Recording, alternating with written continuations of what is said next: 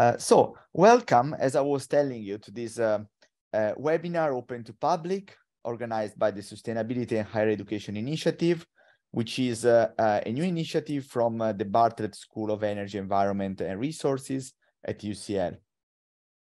With our initiative, we aim to um, discuss on sustainability and higher education, linking teaching, research, outreach, and external opportunities and connect at the same time our students, our staff, the public, and our alumni, which is now a very large network of thousands of, uh, of people uh, um, involved uh, mostly in uh, sustainability.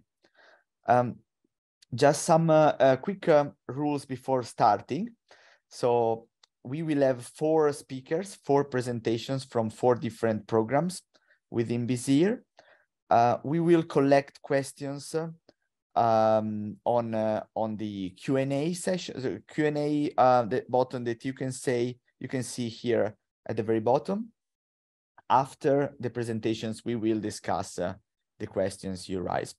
Uh, for Beatrice, we will email her as she has um, a, a, very important uh, um, duty later on. Okay, um, just a, another couple of uh, information if you want to hear more about our sustainability initiative, uh, thank you, Nikos. Uh, so we have uh, added uh, the link uh, on the webinar chat. And at the same time, uh, we will write down also here the link for all our MSc programs. Yeah, we have a very long list of programs now divided in our four institutes. And most of them, or if not all, touch sustainability at some point. So they're all very relevant from a very a different perspective, of course. Okay, so great. I think we are ready to start. And uh, I would like to um, invite Beatrice to unmute. And uh, um, Beatrice, um, you, um, you are um, free to share uh, your slides and uh, good luck with the presentation. Okay, thank you. So um, every I think everyone see the screen, right? Is all good? Thank you. Um, hi, everyone, and I'm Beatrice, and I was a MSc and Lighting students, and here is my dissertation's topic. Uh, thanks for the invitation for this presentation, and oops, sorry. Um, so um, I would like to present my uh, uh, dissertations. It's about the lighting sensitivity between the neurotypical and neurodivergent populations using LED in the office. And uh, my supervisor is Jemima and Peter and also with Ruth. So um, I really thank you about this about this research because this is the uh, neuro, uh, the NDTI uh, worked with the um, National Development Team for institutions.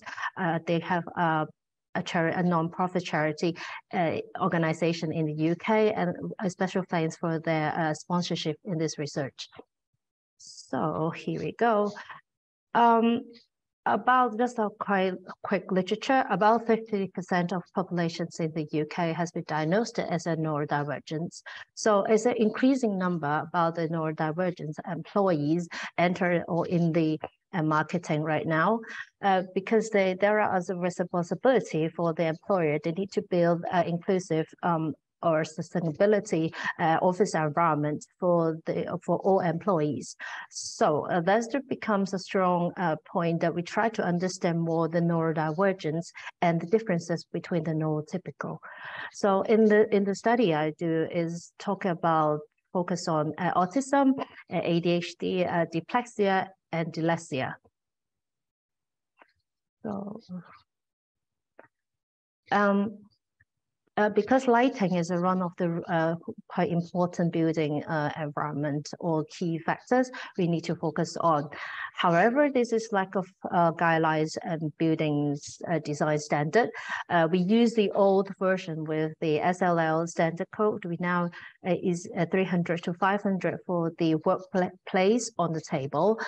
Um, there are recently have the new uh, P, uh, PAS 6463 coming up with a, a, guidance from the British standard institutions that's just come up last year.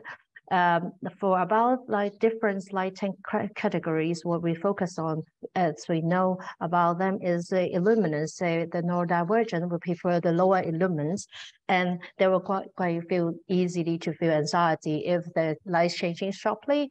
Uh, for color temperature, I think they would prefer they will have like headache or stress using so-called white light, probably like 5,000 uh, 5, K um, flicker. There's a lot of numbers of research saying uh, people will feel uh, notice uh, the flicker from the uh, fluorescent lamp uh, in 60 cycles electricity. So uh, it's become the one of the factors make them feel discomfort.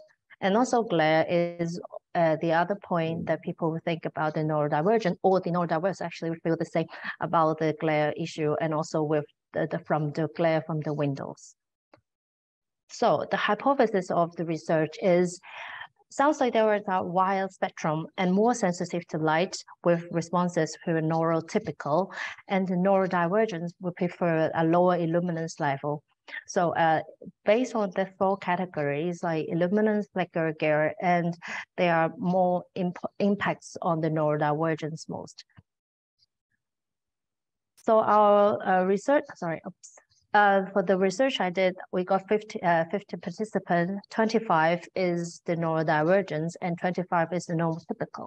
So the, we can see there is a split, see there's a total 16 as the most ADHD large group in the studies. And they also will combine with the autism or dyslexia. So how is the experiment, how we do it. So we set up in the exper experimental room in Central House, the fourth floor in the UCL campus. Uh, we used the, the lighting system to control the track lights. I, I know there the image that's quite a lot, but actually we just use two of it. So we dim down the lights and we point out to the wall to try to uh, uh avoid the glare issue we caused it. Uh, at the same time, the white paper will also block the daylight uh, because we just want to focus on the artificial or electric light. Um, yeah, we, we, we would uh, try to avoid the daylight from the window, sorry.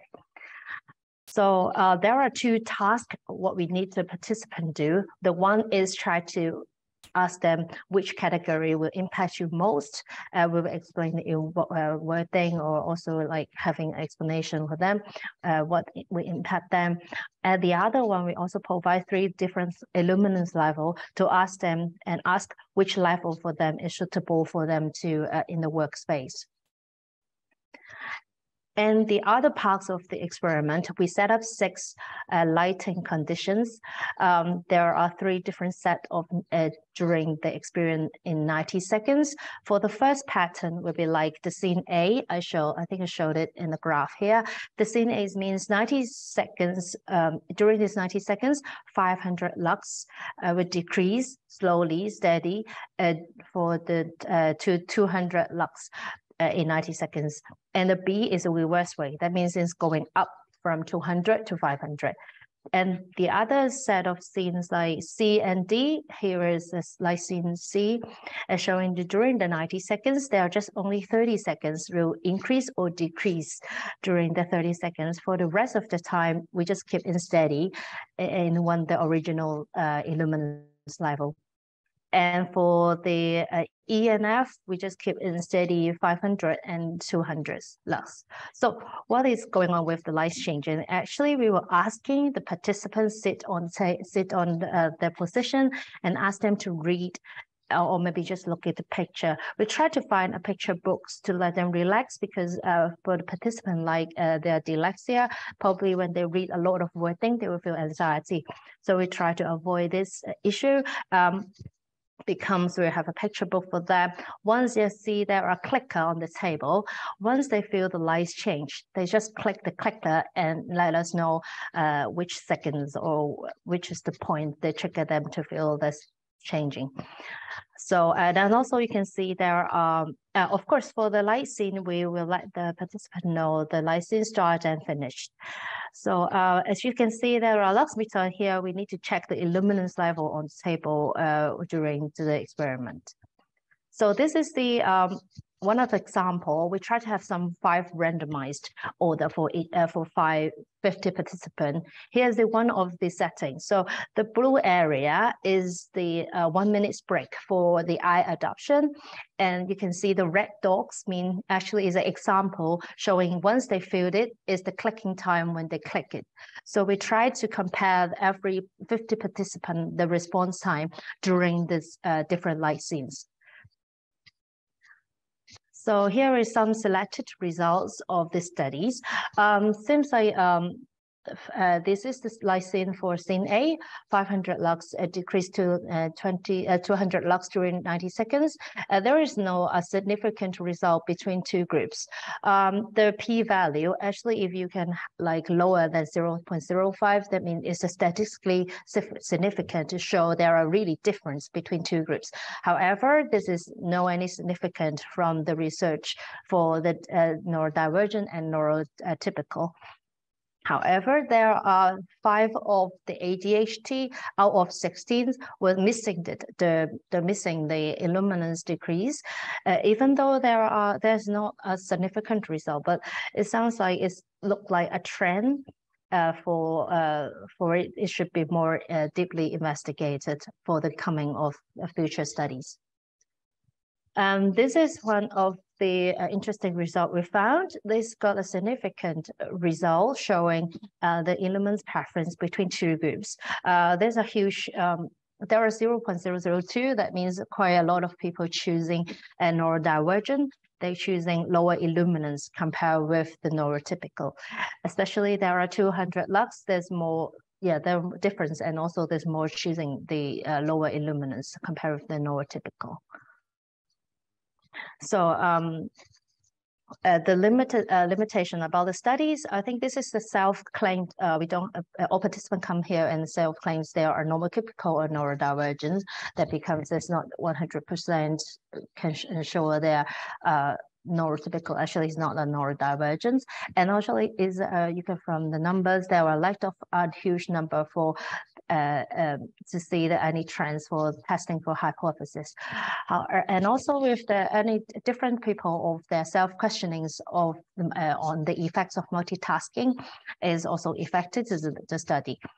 And also with the medical treatments, because there's some uh, probably ADHD participant will take a, a medicine for during their daily life. It will also impact for the studies. So for future, a portable experiment setup is uh, recommended, especially um, asking the autistic uh, participant try to come to UCL is not that easy. They try, few of them just uh, not so sure, then they're just denied to come. And also uh, for the computer-based uh, this study we just test about the paper base is not the computer base. So um, this paper is also should investigated. Um, and also the specific one uh, neural uh, neural disorder will be also one of the with larger sample size will be useful and even though now we tested about 200 lux is the one they prefer, but how about lower than 200? Probably 100 or 50, 50 would be the one we know we still need to test on it. So the conclusions are really quick one. So uh, it's just a really increasing number for uh, neurodivergence populations in, in, the daily life or in the in the labor market. As uh, however, we have no uh, significant result between the neurodivergent and neurotypical. But I'm sure there's a one step forward about how to test about they prefer like 200 lux for the illuminance in their office, and also subgroup and neurodivergence group should be more investigated, and also try to build uh, sustainability and also with uh, in inclusive uh, working environment, filming system in lighting should be used. So here is the bibliography. So thank you for having me today. Uh, welcome for question. Please uh, send it through email. Thank you. Thank you so much, Beatrice. And uh, um, as I was saying, uh, we have the Q&A option here. So um, feel free to add uh, um, any question there, um, at attendees and thank you so much, Beatrice. It, it was so fascinating and interesting. And uh, of course, from a, a behavioral economist perspective, uh, I, I have so many questions for you, but I will uh, reach out later. Uh, okay, thank, thank you. you so much for having me. And uh, and great.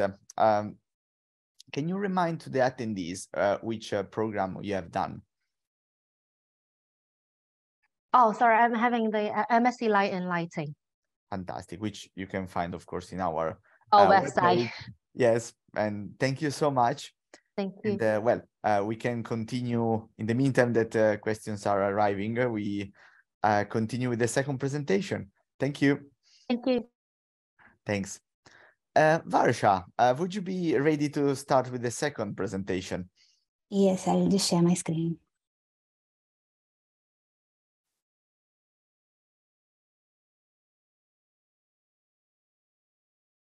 Fantastic.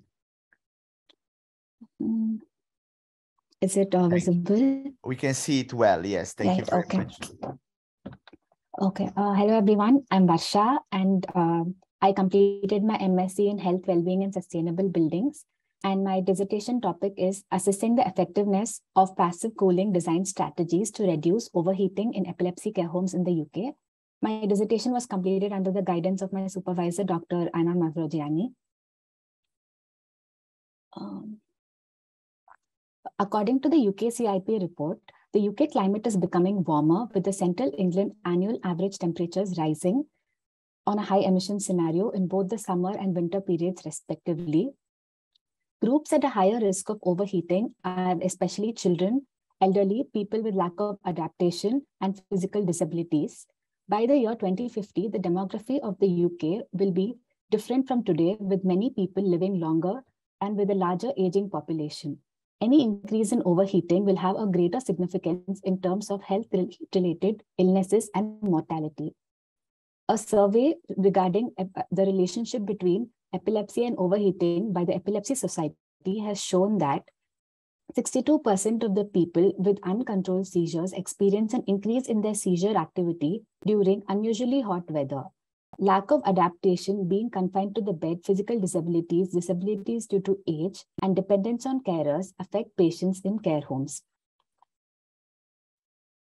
Excerpts from existing studies indicate that climate change has an impact on epilepsy either directly or indirectly. Thus, it is essential to consider health effects of indoor temperature exposure for care settings with residents experience, experiencing health conditions, low mobility, dependence on carers, which leads to spending most of their time of the day indoors and thereby affecting their health and well-being. Existing literature recommends using passive ventilation through dynamic, ventil to dynamic window opening schedules and shading through external shading devices and internal shading strategies such as blinds and shutters to prevent overheating. However, there is a gap in research currently as there is little, little literature on how to mitigate overheating in care facilities specifically designed for people with epilepsy. Thus, the aims of the studies are twofold. The first being to investigate the effectiveness of a range of passive building retrofit and operation strategies using dynamic thermal modeling to mitigate the effects of overheating and in maintaining a thermally comfortable and healthy indoor environment in for care homes for people with epilepsy. The second is to examine if the passive design strategies are adequate to mitigate the risks of overheating during climate change in the future scenarios. The overarching study methodology is described in the flowchart below, which involves site visits to the care home, primary and secondary data collection, modeling of the base case, selection of current and future weather data files, selection of overheating assessment criteria, testing of passive design strategies and the impacts of climate change, and finally concludes with the formation of overheating adaptation guidelines. The first step was to visit a care home for epilepsy and understand uh, and to collect primary data and secondary data.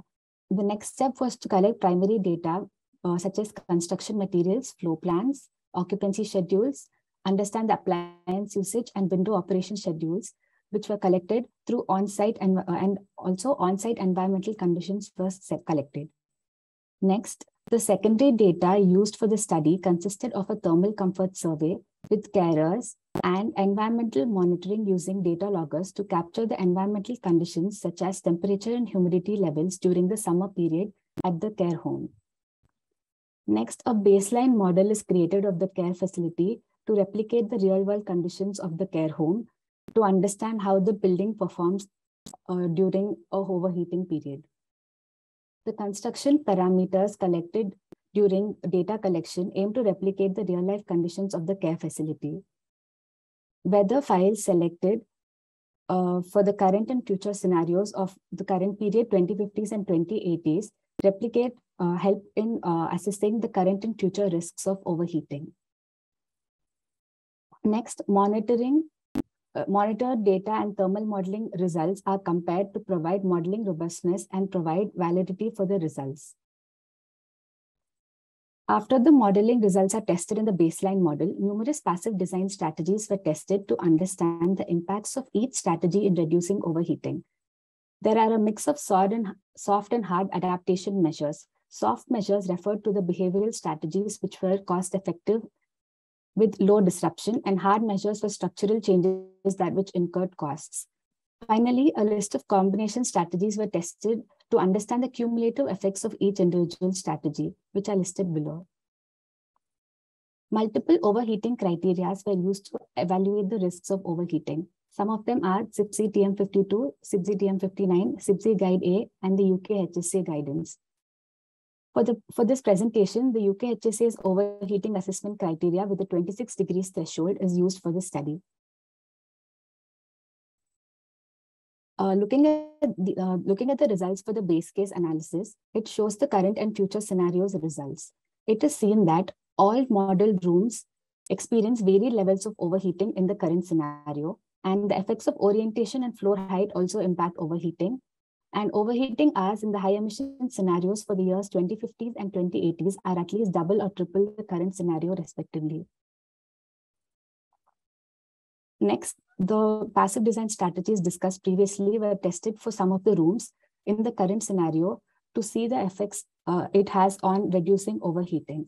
For the current scenario, in the individual strategies, it is seen that night ventilation was the most effective strategy in reducing overheating, which is strategy S9, followed by strategy S6 and S7, which are shading strategies, uh, which are fixed and adaptable shading strategies. Looking at the combination strategies, the most effective strategy is C5, which is a combination of shading, ventilation, spectrally selective glazing, high albedo materials, which results in 0% of the hours overheating during the current scenario. It was also seen that all combination strategies were more effective than individual strategies in reducing overheating. So they were next tested for the climate change scenario to test their impacts on overheating.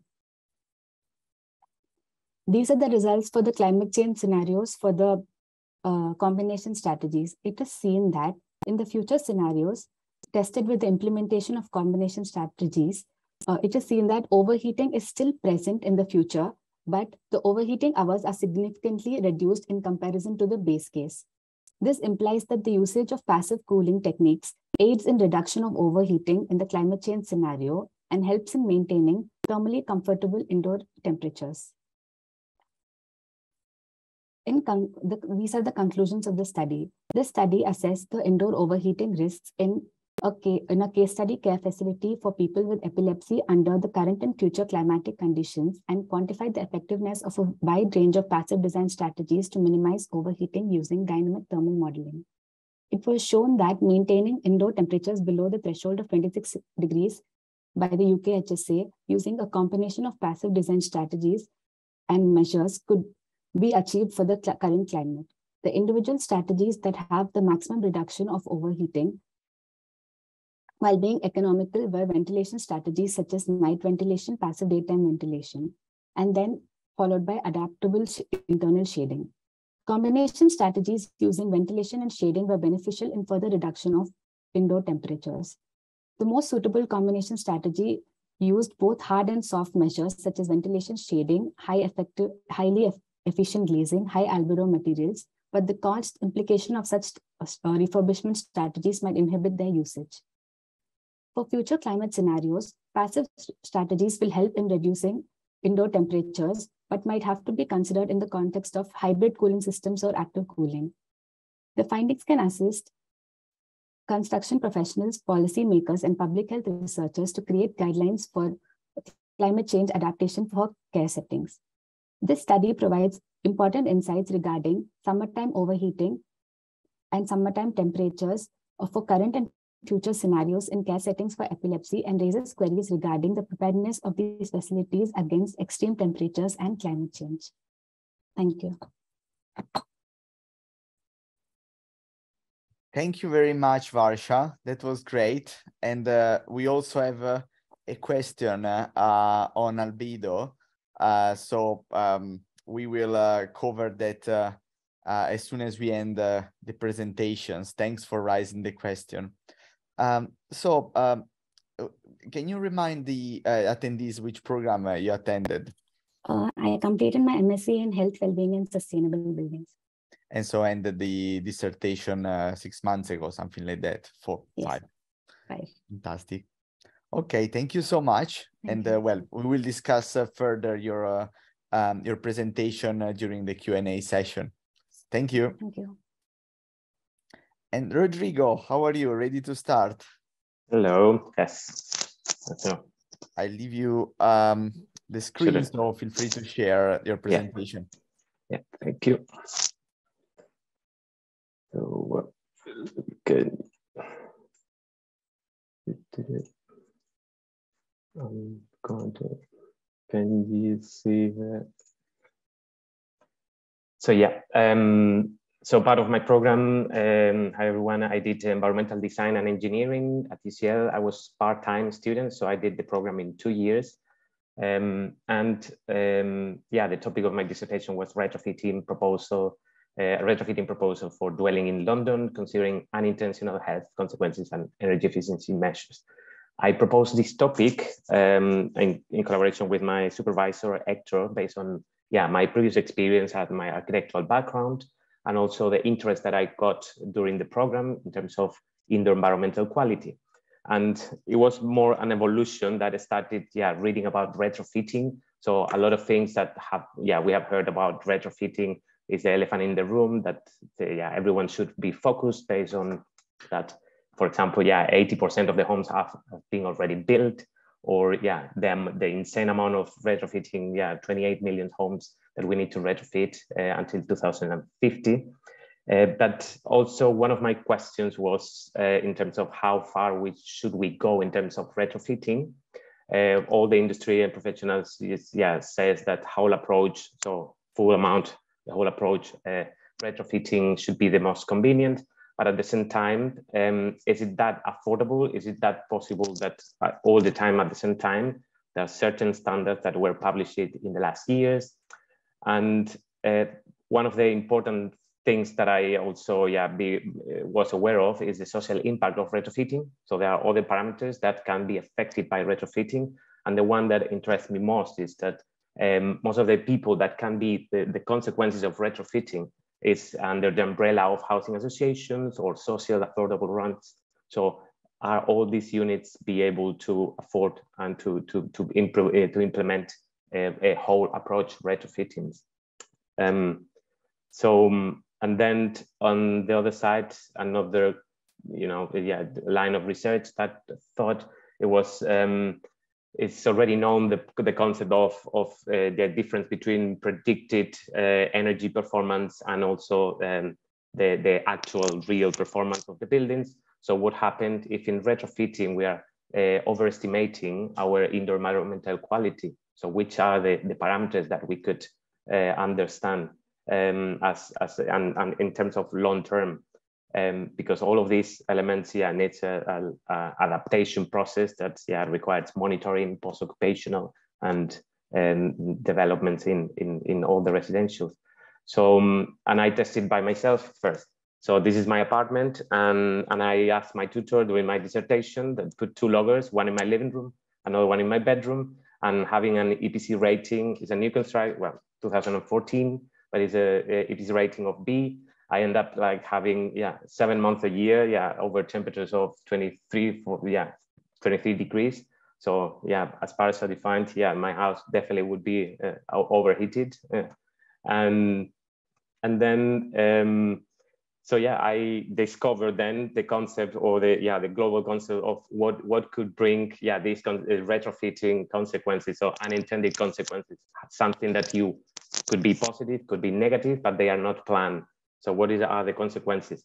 And uh, I keep reading, thinking that the, the three most effective energy efficiency measures uh, defining retrofitting uh, increase the risk for the most reported unintended consequences in the long term that could affect occupants' health. So as everyone, yeah, the fabric first approach in retrofitting, so it would be air tightness, increase the insulation and control the, the leakage and ventilation, but it might grow the, the, the risk for yeah, higher concentration of interpollutants, risk of mold growth, and yeah, increase the temperature, the temperature of surfaces, and then overheating.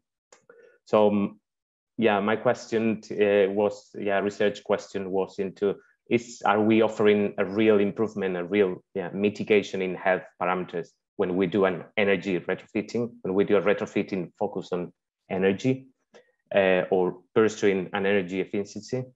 So just to yeah, get the, the, the, answer of that, my methodology is, was quite simple. It was yeah, description of a, of a, of a, of a case study, then a second stage of uh, defining, yeah, this, yeah, reading about all the retrofitting standards that were um, uh, at the moment, identified which potential unintended consequences could happen. So from, from the implementation of these retrofitting uh, uh measures, and then two uh, different uh, set of scenarios where steps retrofitting, one following all the yeah model standards energy as as as they have yeah, it is recommended. And the other one, it was with the priority of mitigate these health uh, unintended consequences. Um, uh, as we said, yeah, the parameters, yeah, that yeah, I, I calculate based on on these um, scenarios where uh, energy, because it's still the, the, the main aim of, the, of, of retrofitting is reduce the energy consumption, but at the same time we will be um, looking at, uh, uh, I was looking at the overheating CO2 levels in terms of indoor, yeah, indoor quality and relative humidity. After that, yeah, results were compared and yeah, conclusions done.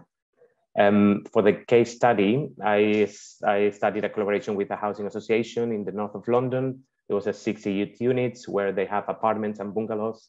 And yeah, uh, they are already uh, applying for, um, for the social housing retrofit accelerator so it needs that they need resources, economical resources to do the retrofitting.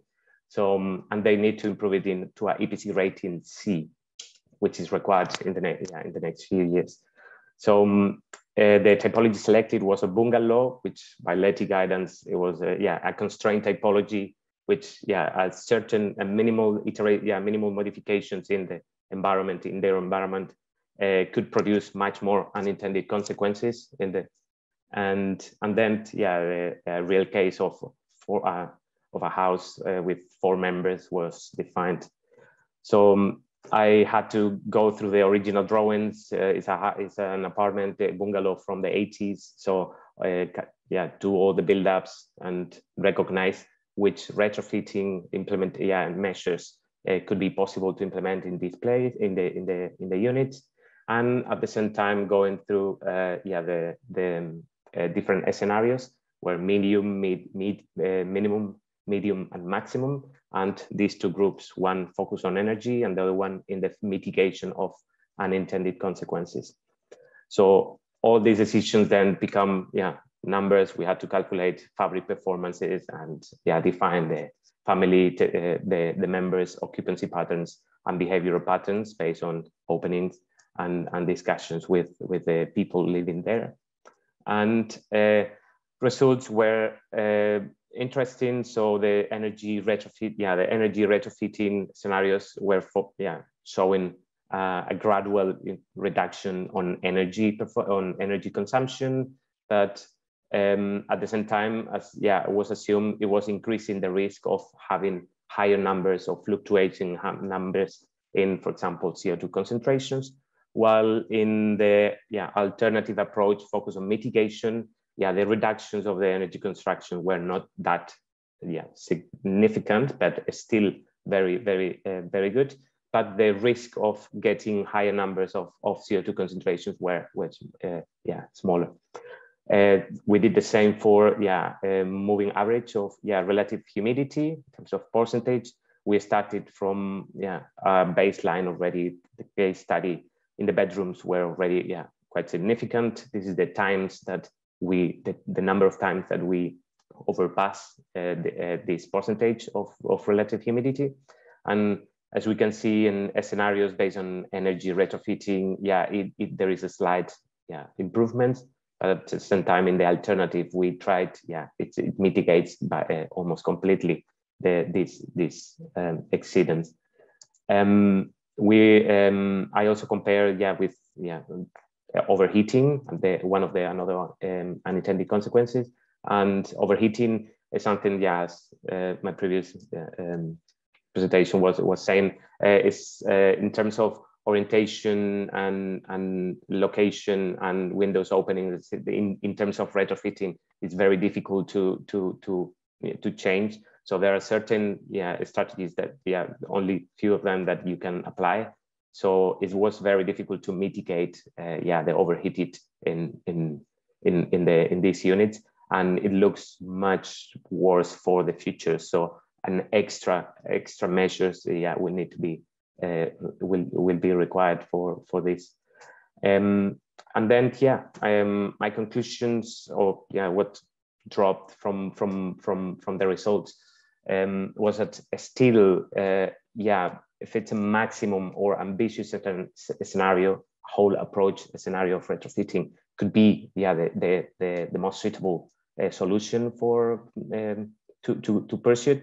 But at the same time, um, yeah, uh, alternative approach of retrofitting focus on or prioritizing uh, health parameters like yeah, uh, mitigation of, of um, unintended consequences show very positive results and also uh, significant uh, energy reductions because uh, actually if we think about it yeah it, it would be yeah it would be a bit controversial if we live in a house where where it's more energy efficiency than than healthy in terms of long term so we need to ensure that, yeah, our indoor environmental quality is, is, is the maximum.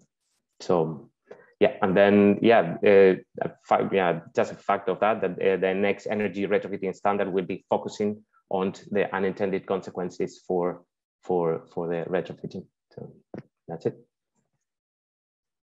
Thank you.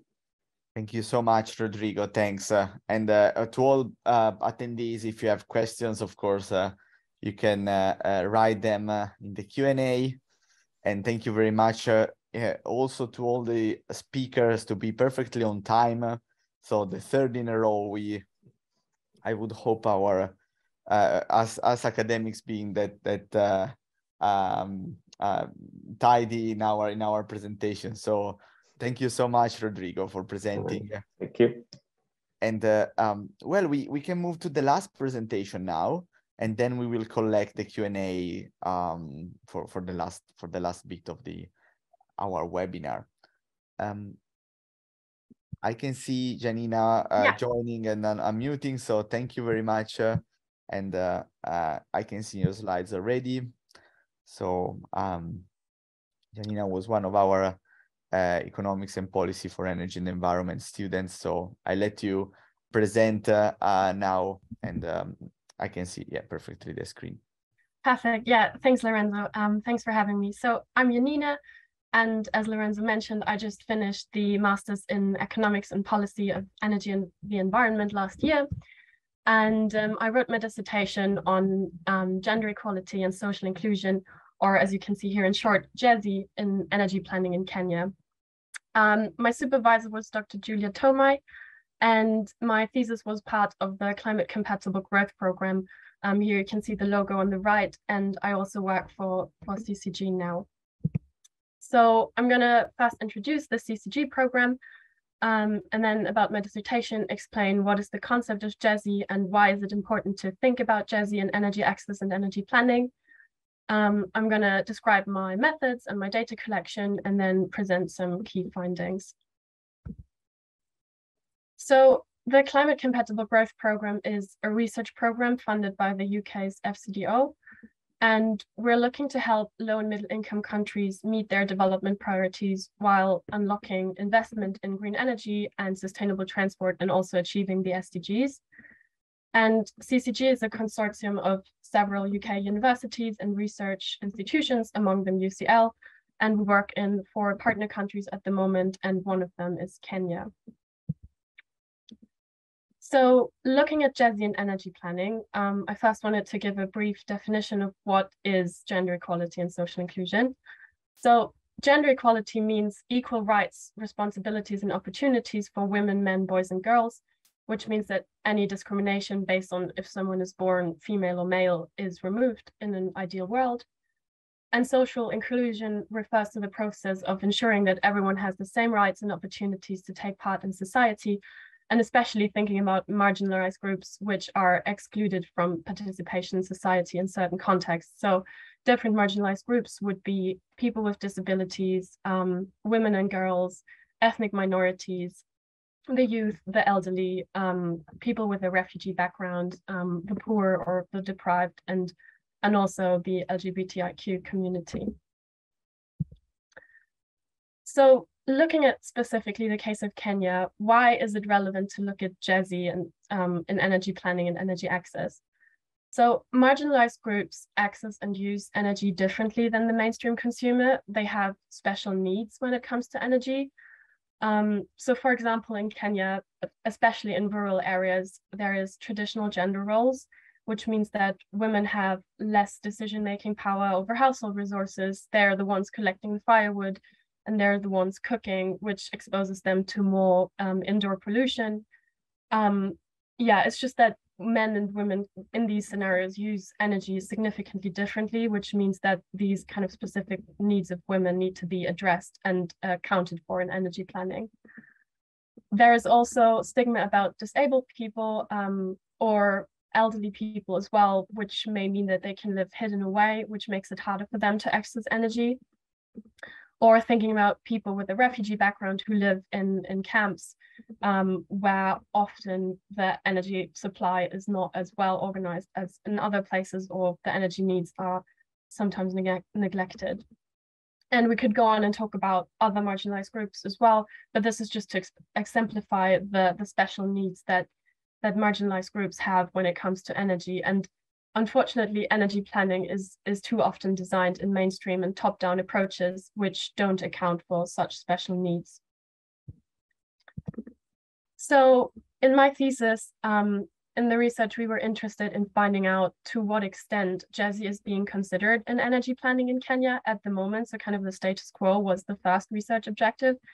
And then the second objective was to kind of identify improvement points to um, better include GESI in energy planning. So we um, interviewed 19 stakeholders in the energy sector. So these were energy decision makers, for example, from the national government or the county governments, but also from private sector and um, different NGOs. And we asked questions like, what do you understand by gender equality and social inclusion? So, so what is your definition of the term? Um, we also asked which of the following marginalized groups are currently not considered in energy planning, and then we showed the image here on the right with, with the different um, pictures um, for the different marginalized groups. And then people could choose which ones are not being um, considered at the moment. And then we also asked them with other questions, what could be done to improve the consideration of GESI in energy access and energy planning? And so based on the interviews, um, I identified some key findings on the status quo of consideration of GESI and energy planning at the moment. The first one being that energy policies and planning um, do inc increasingly include the needs of women, but other marginalized groups, which I just mentioned before, um, receive less attention. And the second key finding was that the county, uh, the county, county implementation of such policies is um, still lacking. Um, it's rather slow and it differs between between the counties in the sense that the capacities in the different counties for implementation and for driving GESI inclusive energy planning is, is quite different. And then also based on the interviews, I identified six action points for improvement. So for improving the consideration of GESI in, in energy planning. The first one being to give all marginalized groups equal attention in planning. So this is without compromising the progress that has been made on including women's needs in planning. Um, but it's essentially about leaving no one behind and acknowledging that there may be synergies um, in addressing the different marginalized groups as the characteristics of the different groups may intersect. Um, and so, so by um, acknowledging that all marginalized groups have special needs, this, this helps to leave no one behind in energy planning. The second point is about addressing the underlying discriminatory structures. So this is essentially about changing traditional gender, gender roles, um, improving women's decision-making power on household resources, and also empowering them economically. So um, supporting them to pursue male-dominated careers, for example, in the energy field. Um, that point is also about fighting stigma and discrimination of other marginalized groups, um, like, for example, the elderly or the disabled people, um, and also about addressing poverty and high costs for energy consumers and um, supplying the remote living people with, with energy. The third, third action point I identified was to drive the implementation of the policies. So this means increasing county staff capacity, capacities for GESI and also improving the collaboration between the different departments and actors, as some of my interviews have mentioned that some departments may work in silos um, and not communicate, which isn't helpful when you try to integrate gender and energy. Um, and then the fourth point is about pursuing more participatory planning. Some interviews have mentioned that it would be great to include more stakeholders earlier on in the process. And then what also has been mentioned to be really important is stronger policy making. So kind of that political will to actually drive the inclusion of GESI in planning and then also drive implementation from both the national and also the county governments. And then the last point is about increasing funding, so the financial capital to actually put the different policies and planning and, and fund the different the different staff capacities, for example. Um, it was important to me to highlight in my thesis that um, this is not a hierarchical order of which points should be addressed first, um, but that it will be dependent on the context of each project and each county maybe or each city, which which of these points should be addressed first. Um, yeah, thank you. And I look forward to any questions. Thank you, Janina. That was uh, very interesting. And as you can see, all the presentations were very diverse and they well describe our uh, offer in terms of programs and uh, uh, teaching, postgraduate teaching at least. And thank you all for being very much on time as well. So we have some questions. Um, if you have other questions, for example, for the last presentation, please feel free to write them in the Q&A. A quick question uh, uh, from my end was uh, to all the uh, at the speakers that are present. So which was the most difficult part um, of was was for you in terms of completing these dissertations? except for presenting today, I mean.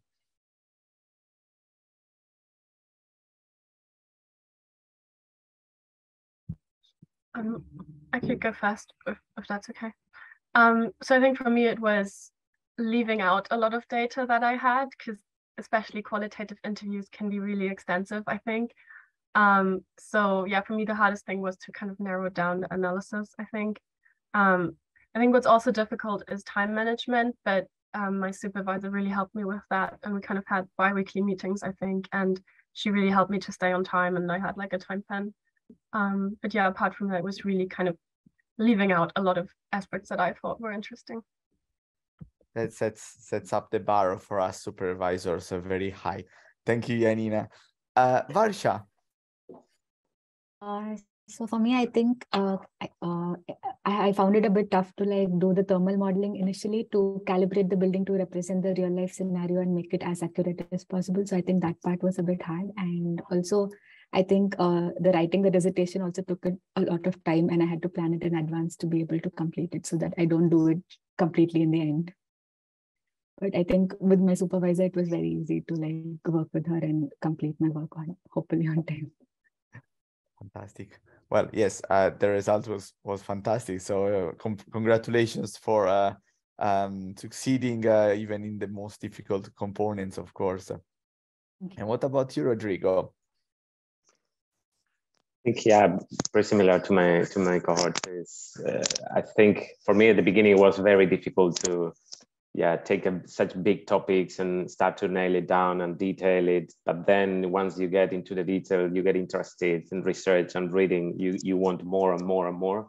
And yeah it's time management what needs to put the limits.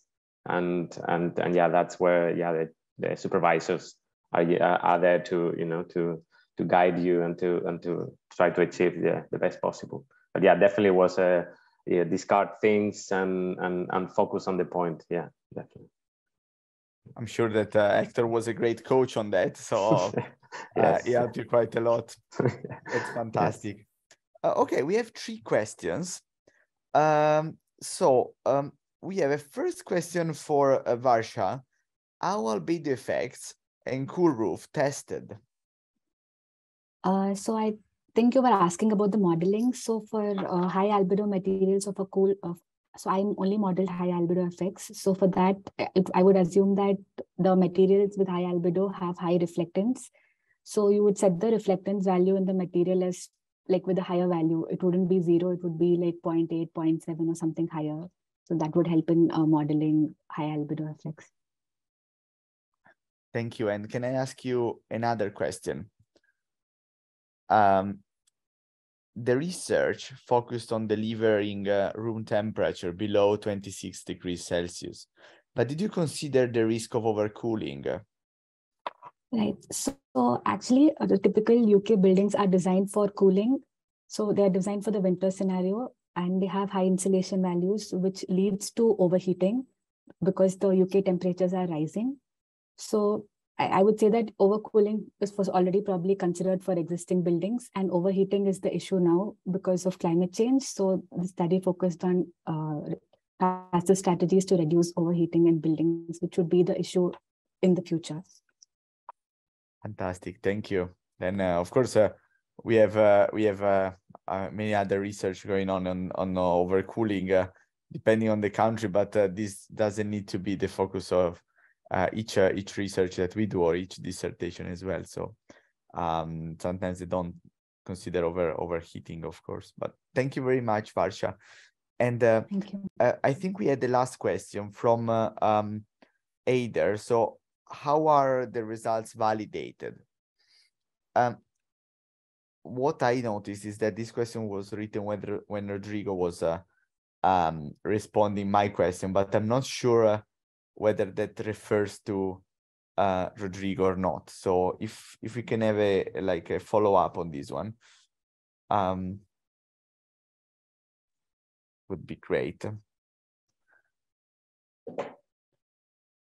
Well, um, the validation of, for example, in my in my case of retrofitting interventions and things, it will be the post occupation. So put in loggers and get results monitoring, yeah, the conditions indoor so in my case, for example, yeah, it was focused on the modeling and the prediction. So bring bring potential consequences to the early stages of retrofitting. So now that monitoring um, in in post occupational yeah, uh, um, yeah residential units it, it, can be done or or it, it should be in order to avoid that. Um, I would say that that's a great yeah way of validating all the results and calibrating models that we can we can do. So yeah. Thank you. And uh, Aider was also asking to Varsha. So Varsha, if you can uh, follow up uh, on the same question for your presentation.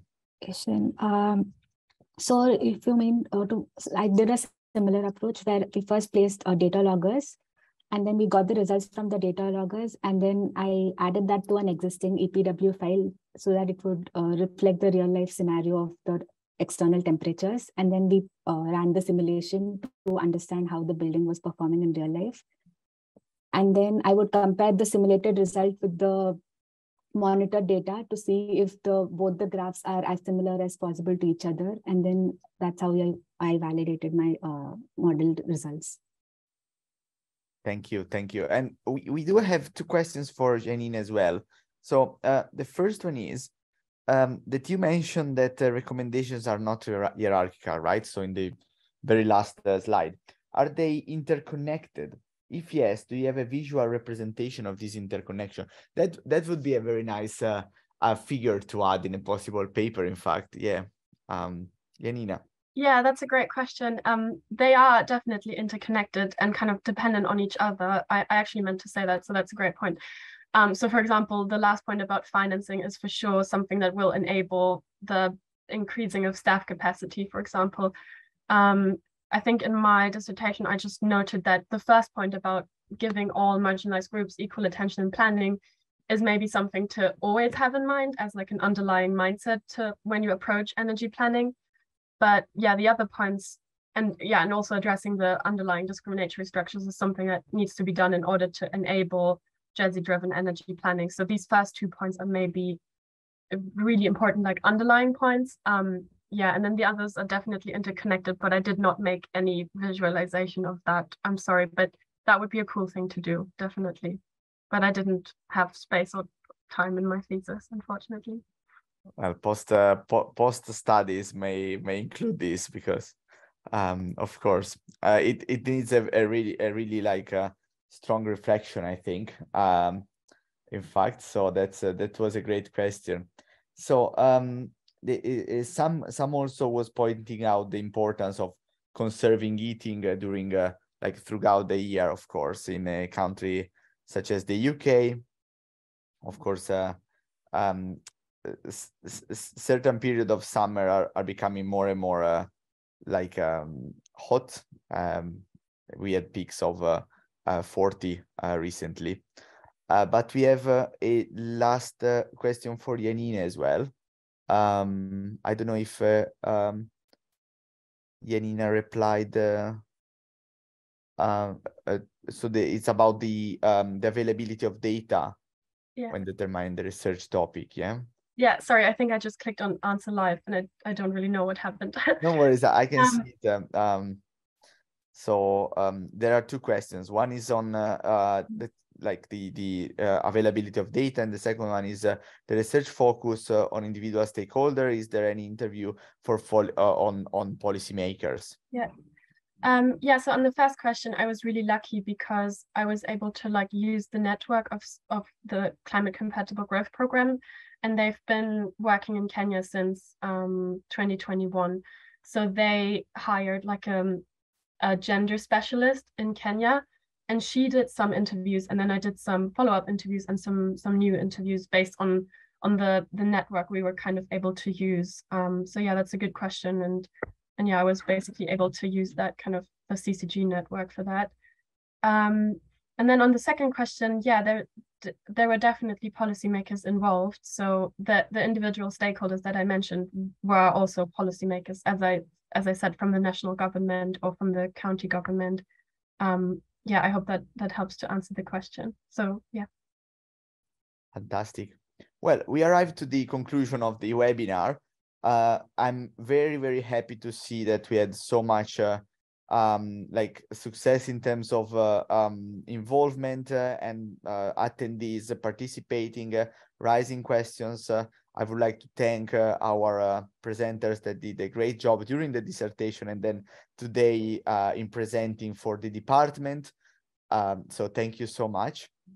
Um, as we were saying in the very beginning, this session has been recorded, so we will also share this in our on our website and, and socials and um, um, well, we, we look forward for the next events, of course.